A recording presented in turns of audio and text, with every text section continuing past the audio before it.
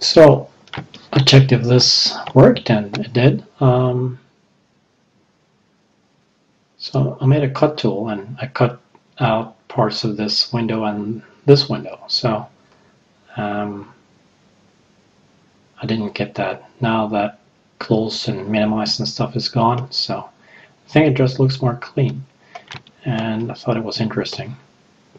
Um, it's damn difficult to make a correct cut though, but it might be possible to make it easier or, or to automate it in AutoHotkey or something like that. Um, the thing is, is it worth it? Is it worth the time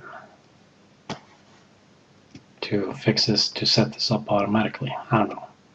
Um, just to make it look slick.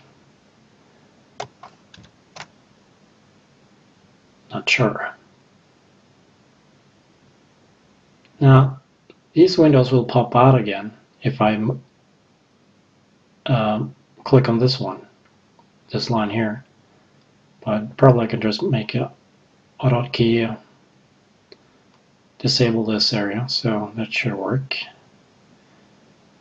Problem here though, the main problem, or no, not the main problem, but yet another problem is that uh, this model is now behind that area. That's not that great. There's a lot of lost area here.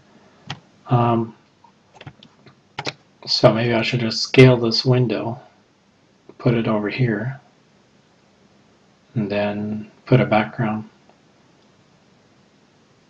Uh, Lightwave 11 gray background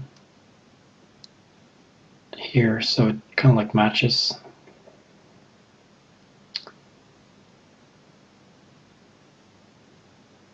It's a lot of work just to make it look slick though.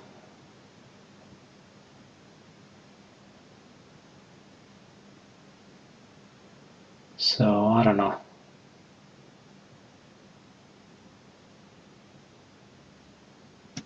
Anyway, I thought it looked cool.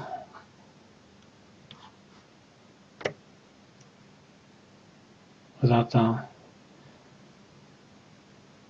bar here and the bar here.